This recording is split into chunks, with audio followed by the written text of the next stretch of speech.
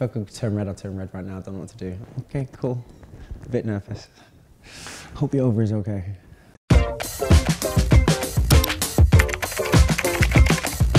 Hey, I'm Lucien Laviscount and I am going to be answering the internet, the www wibbly wobbly web.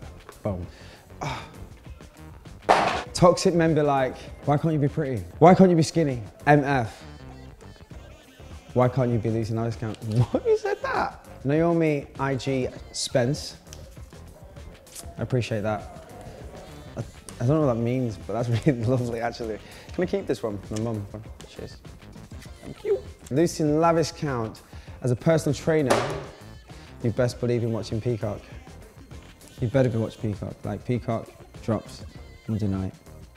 BBC. Oh, no, no, this is probably the most hilarious, interesting life lessons, if you want to put all that together in, in, in a kind of culmination jobs I've ever done. Um, I've never been on set and worked with people who just riff. The comedy is thick and fast. And um, these guys have no stop button. And I'm here today doing press and I'm still smiling. Like I'm levitated in and I'm levitating out. Really thankful to be in the mix with these boys and these girls. I'm sorry, but Lucien Laviscount in Emily in Paris, question mark, upside down question mark. Why did no one pre-warn me? Because damn, my over is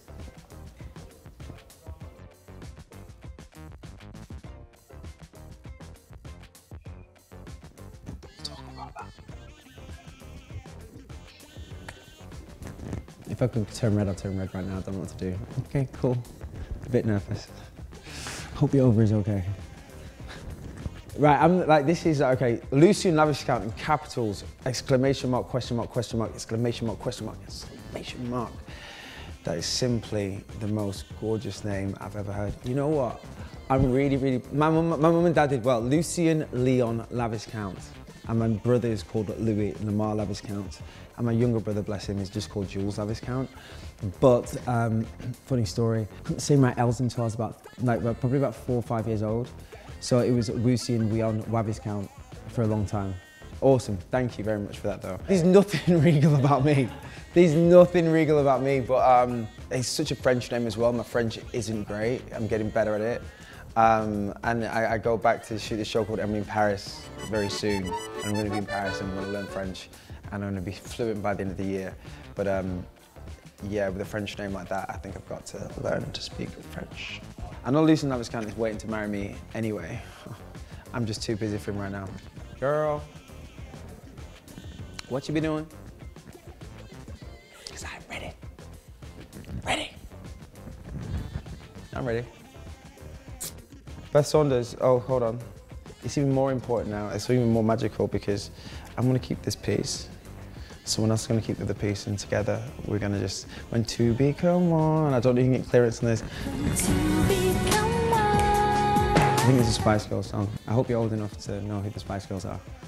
Or else that would be really, really awkward. me, me and Beth, Beth, I'm ready. Beth, um, oh, gotcha. Ba-bum. The year Lucy Lucien Laviscount was on Waterloo Road changed the entire trajectory of my life. Never have I loved a man the way I love Jonah Kirby. Jonah Kirby was a G. Like, that's going back. I, am not going to say how old we are now because that was a long time ago.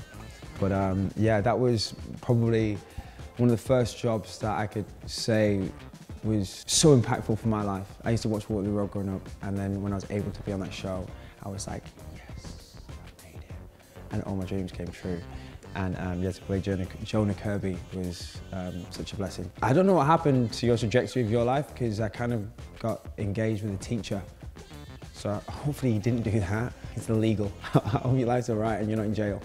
Be safe. Okay, hear me out. Emily in Paris season three. She's in love with Alfie. They go to London. London Boy is playing in the background with a montage of them walking down the streets. Um, Darren Star, Lily Collins. Uh, I think we've got a, um, yep, episode one, season three. Anyone? The most beautiful thing that has come from Emily in Paris for me is um, a young girl came running up to me today on the way here. And I, and I really, really, really, really appreciate everything that the show's brought and to be part of it. And um, yeah, she asked me for a picture and she said, how's my day? And I was like, yeah, my day's going all right. And she was like, have a really good day and thank you for making my day and having this picture. And I was like, whoa. And yeah, like we're, we're, we're all human at the end of the day, but it really mean, it all means a lot. It really does mean a lot.